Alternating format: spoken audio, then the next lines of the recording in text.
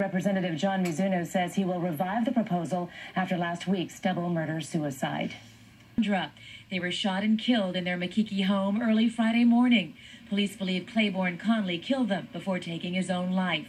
It happened just hours after Cass reportedly told a friend she was thinking of filing a temporary restraining order against Conley.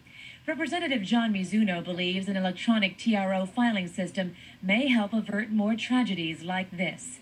The key is that it would have been another option for our police officers to use, as well as our victims of domestic violence. Mizuno will reintroduce a bill that establishes a three year pilot project across the state that would allow domestic violence victims to request protective orders online seven days a week. Mizuno wrote and introduced a similar bill last legislative session, but it failed because of concerns over cost and infrastructure. We would need to have outstanding connectivity with all the computer systems. That would include all counties, police, and the judiciary.